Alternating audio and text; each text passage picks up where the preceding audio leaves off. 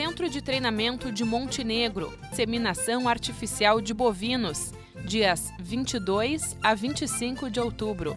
Gestão de Agroindústrias, 23 a 25 de outubro.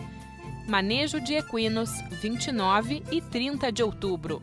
Informações pelos telefones 51 3632 1261 e 99862 6687 ou através do e-mail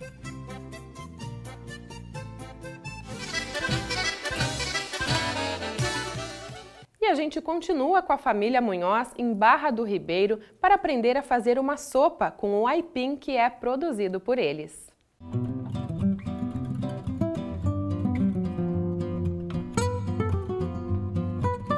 O aipim descascado, cortado e embalado na agroindústria, ele veio aqui para a mesa, né? E nós vamos mostrar a diferença do amarelo para o branco na presença da dona Gladys, que também é uma das donas da agroindústria, e da nossa colega Nadir, que é extensionista aqui de Barra do Ribeiro. Nadir, e como é que fica essa questão da avaliação, né, dessa escolha dessas variedades para ofertar para o consumidor? Então, além da, da, avaliação de campo, né, conforme já, já foi mostrado, a gente tem também a avaliação de como é, essas raízes vão se comportar na panela, que é isso que importa, né? É sabor, é a maciez, se vai ser cremoso. Então, depois de muita avaliação, uh, de testes de cozimento aqui na cozinha da, da, da Gladys, né? A gente chegou a essas duas variedades, então, que temos aqui. Essa com a polpa amarela, que é um alimento mais, mais rico, né? Além de ser mais bonito, uh, nutricionalmente do que o, o aipim branco. Então, a ONU declara o aipim como alimento do século XXI, né? Pelo poder nutritivo que, que, que tem esse alimento e pela a importância dele na história, que já era um alimento consumido pelos nossos, pela civilização que aqui antes, pelos povos que aqui antes é, moravam, né? E que depois uh, passa os colonos também a produzir. Então ele tem esse poder uh, nutritivo bastante grande, é riquíssimo em cálcio, né, em vitaminas, uh, vitamina C, vitaminas do complexo B, possui carboidrato, nós temos a questão de não é, um alimento sem o glúten, né? Onde os celíacos é, podem consumir com tranquilidade. Enfim, um alimento completo, digamos assim, e produzido na pequena propriedade, produzido pela agricultura familiar. E a dona Gladys vai preparar para nós uma sopa de aipim, né, dona Gladys? Isso. E ela já deixou aqui cozidinho um quilo de aipim, mas também essa é uma ótima receita para sobra, né, dona Gladys? Isso, para aproveitar a sobra que sobrou do aipim.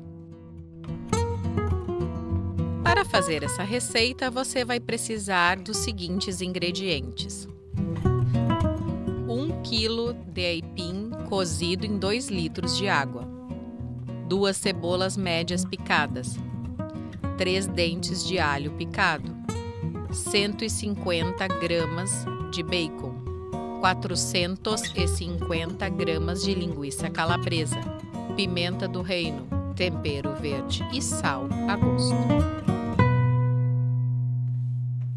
Primeiro lugar, o bacon, né? Agora a gente dá uma refogadinha, né, pra dourar um pouquinho o bacon, né?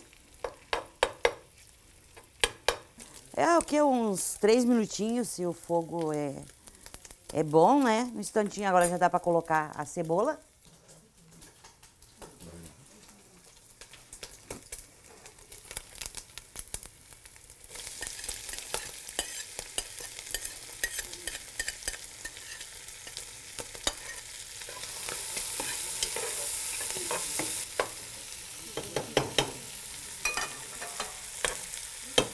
O alho.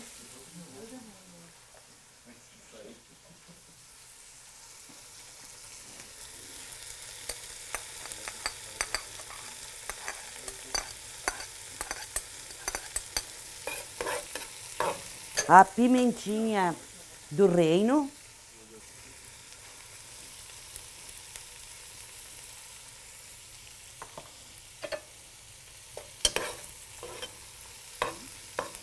Agora vamos colocar a linguiçinha.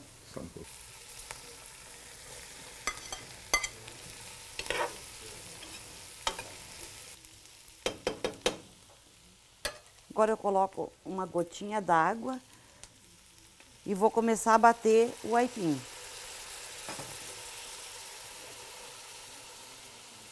Bater para colocar no, na sopa. Com a própria água, né, que foi cozido o aipim, que é vai dois litros de água para cozinhar ele. Aí a gente bate, pode ser quente, né?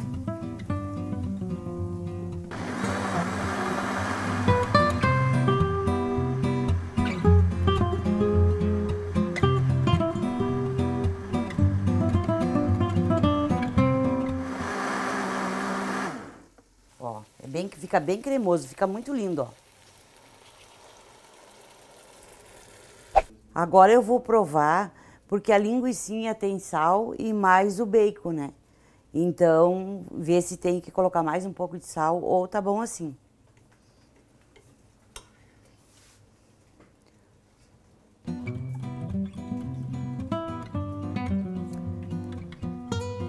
Tem que colocar um pouquinho de sal. Uso o sal do Himalaia, que ele é bem melhor do que o outro.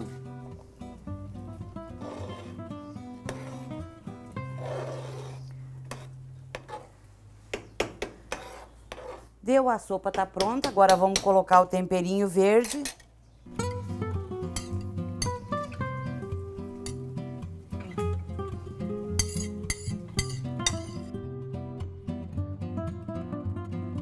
Tá pronta a sopa.